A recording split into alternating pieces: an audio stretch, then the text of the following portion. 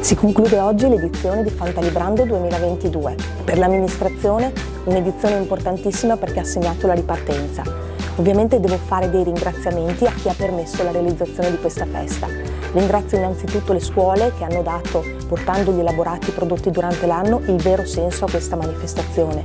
Ringrazio l'IC di Volta Mantovana, la Biblioteca Comunale di Monzambano, la Fondazione Città di Monzambano, l'Associazione Culturale Aldamerini, CPO Alto Mantovano, Commissione Pari Opportunità e ovviamente ringrazio tutti i laboratori, tutte le persone, tutti i volontari che si sono resi disponibili per colorare Fantalibrando 2022. Siamo giunti alla conclusione di questa meravigliosa edizione di Fantalibrando.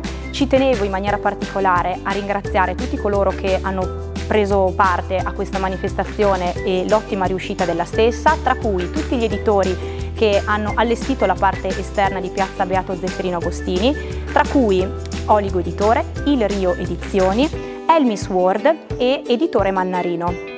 Il mio collaboratore Maurizio Mantica con storielleria.it che assieme alla mia cartolibreria L'Informazione ha dato vita all'esposizione di libri all'interno della palestra.